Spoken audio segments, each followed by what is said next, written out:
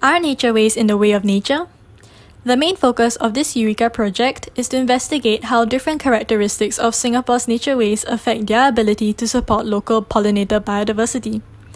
Since the 1800s, Singapore's primary rainforest habitats have undergone massive deforestation in favor of urban development.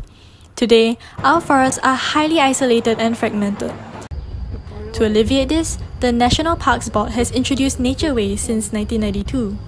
These are nature corridors set up around the island with the purpose of connecting our green spaces and thus facilitating the movement of fauna between them.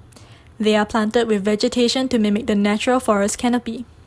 However, these nature ways differ widely in their characteristics, including connectivity, degree of urbanization, proportion of surrounding natural areas, and the variety of flora that are planted. These differences can greatly affect their individual success of attracting invertebrate pollinator species. We hypothesize that nature ways with higher invertebrate pollinator biodiversity and overall success have more connections, less urbanized surroundings, more peripheral natural areas, and higher floral diversity. The methodology consisted of three phases. The first phase was site selection. 58 500 meter transects were identified island wide and their characteristics were recorded. The second phase was fieldwork consisting of two parts. Firstly, the 500 meter transects were walked for 15 minutes and surveyed for Lepidoptera. Secondly, flora along 100 meter stretches of these 500 meter transects were closely surveyed for any invertebrate pollinator interactions. The third and final phase was data analysis using R and ArcGIS. A bipartite plot of plant pollinator interactions was created.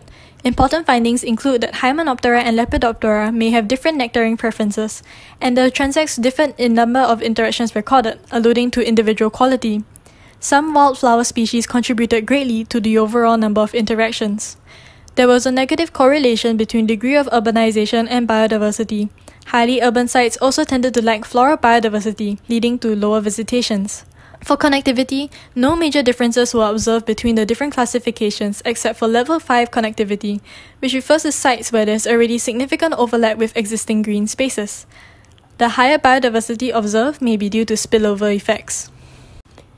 We recommend that weeding schedules be re examined to strike a balance between maintenance and wildflower growth.